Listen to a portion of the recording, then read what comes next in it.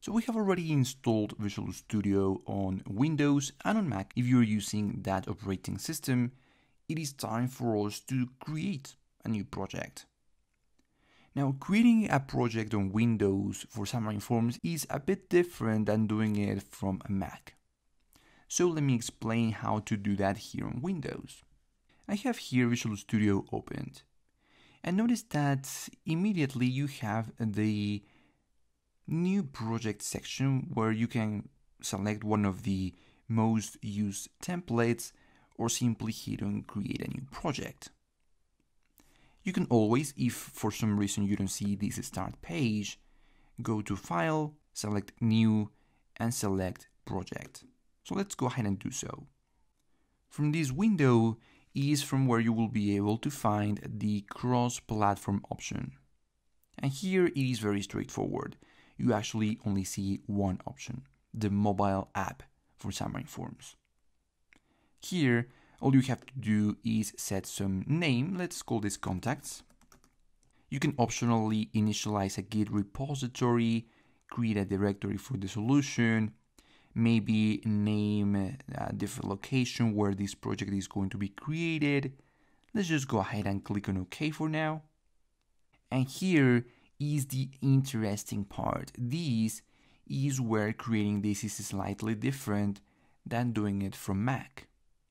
Here is where you would have to select the template.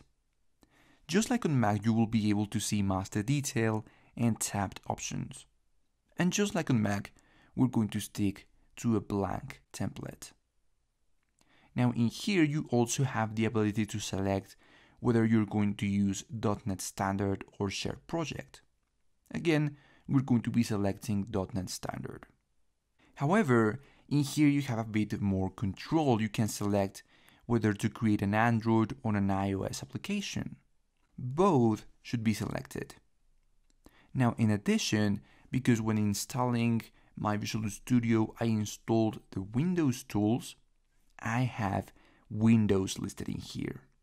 Yes, if you use Xamarin Forms, you can not only create for Android and iOS, you can also create for Windows. I am not going to leave this selected because I am not going to be creating any Windows application. We're going to focus on Android and iOS. And that's it. We can now just simply click on OK and three projects are going to be created, just like on Mac. We're going to have the iOS project, the Android project, and the shared project in the form of a .NET Standard project. After a few seconds then you are going to see here the solution. Just like on Mac, a solution is going to be created. Again, there are some differences between Mac and Windows in the menus, in the templates, but eventually this is the same Xamarin Forms project, you're going to see exactly the same. And it is going to be exactly the same from now on.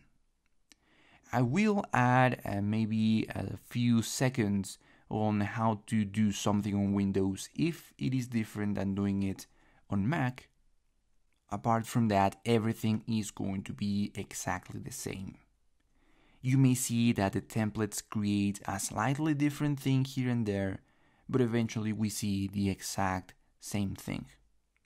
Now, before moving forward, I do want to mention that here on the XAML file, by default, you are not going to see any designer as you do on Mac. In the next lecture, we're going to be focused on creating new controls. On Mac, you're going to see the designer immediately.